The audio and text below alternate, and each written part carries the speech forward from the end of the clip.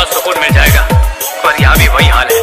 हर बात में सौदेबाज में सब्सक्राइबर डीजे सच्चा प्यार वो होता है जब हम एक दूसरे पे आँख बंद करके भरोसा करते हैं। अगर तुम लड़कियों को प्यार साबित करने के लिए ताजमहल भी